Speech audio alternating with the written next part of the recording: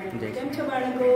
આજે આપણે ગુજરાતી મહિનાઓનું મહત્વ જાણવાનું છે કારણ કે ગામડાઓની અંદર કેવું છે કે ગુજરાતી મહિનાઓ વધારે બોલાવ તહેવાર હોય તો આ શ્રાવણ માસની અંદર આવ્યો માક્ષર મહિનામાં આ પ્રસંગ આવ્યો વૈશાખમાં લગ્ન આવ્યા. એટલે આવા તહેવારો કોઈ પ્રસંગ આવે તો ગુજરાતી મહિનાઓ વધારે બોલતા હોઈએ છે. હું તમને જે બાર મહિના આવે છે એ તમને સમજાવું છું. તો તમે આ જરા જોઈ લો ના.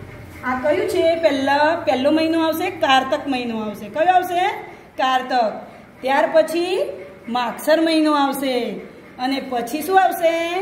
પોષ મહિનો. ત્યાર પછી મહા. અને ત્યાર પછી ફાગણ. ફાગણમાં તો શું આવે છે? હોળી આવે છે ને? ત્યાર પછી ચૈત્ર, ચૈત્રી નવરાત્રિ આવે છે ને? ત્યાર પછી આવ્યો વૈશાખ મહિનો. તો વૈશાખ મહિનામાં શું આવે છે? લગ્નો આવે છે. પછી આવ્યો જેઠ મહિનો, ત્યાર પછી આવશે અષાઢ મહિનો. અને અત્યારે કયું ચાલી રહ્યું છે? શ્રાવણ માસ. તો શ્રાવણ માસમાં તો બહુ બધા તહેવારો આવે છે. ત્યાર પછી શું આવશે? ભાદરવો. ભાદરવી પૂનમ ભરવા જાવ છો ને બધા? અને ત્યાર પછી છેલ્લે શું આવશે? આસો મહિનો. આ રીતે આપણે આ મહિનાઓ વિશે ઓળખવાનું છે.